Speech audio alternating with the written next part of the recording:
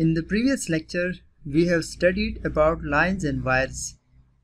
We have learned how can we draw lines in different angular directions, but we cannot draw wires in other angles except orthogonal angles. Either orthogonal option is on or off. Let's draw a few lines and wires. If I click on the line, you can see it asks me to specify the first point. I specify the first point. Moving towards the second point, it want to specify the next point. And uh, it is showing me the exact dimension of the line also. We have selected the dynamic input. Now I want to enter the this point. Now if I move my mouse you can see that the line is not ended if I want to end this line either I will move here click enter or cancel.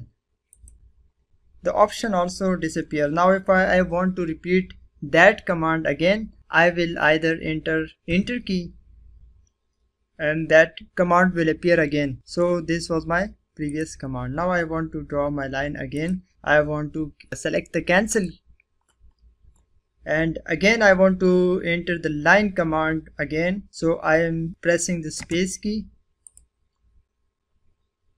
In this way we can draw the line. We can also draw the line from here from this from here. You can see that the last command was a line. I can also pick that command from here. Now I want to draw a few wires and see some of the differences between lines and wires. It asks me to specify a wire start point this is my starting point and this is my ending point now it is not ended you can see that specify wire end but point is not ended mean my wire is now continued. I want to exit this wire here then what will I do? I will right click on my mouse and the wire will terminate there at that point.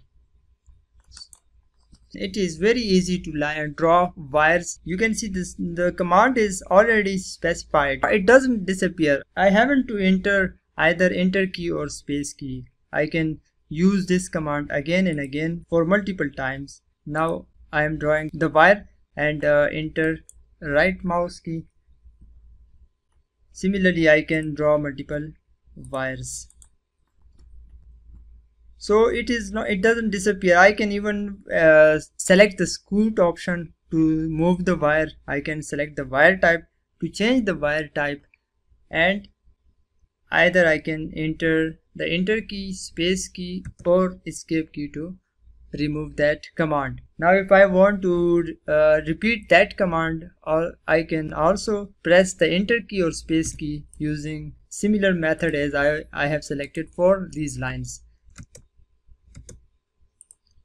So these are some of the fastest options to learn in AutoCAD Electrical. I can also pick from here AE wire.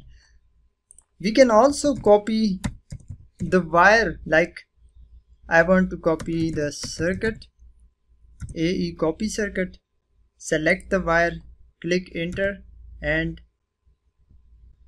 select the base point and select the displacement specify second point of displacement so that is the my displacement. So in this way I can move or copy wire multiple times